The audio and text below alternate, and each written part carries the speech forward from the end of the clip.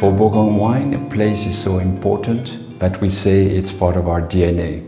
Here, the place where wine is made is known as climat, and it gives the character to each of them. For example, a Chablis Premier Cru Vaulignot will be different to a Chablis Premier Cru Les Fourneaux. They are both produced from the same grape, Chardonnay, but each climat has its own unique geology, climate, aspect, history, but they are so very different.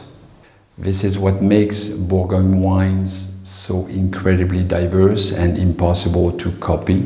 It's indeed impossible to make a Bourgogne wine anywhere else than in Bourgogne, and so much the better.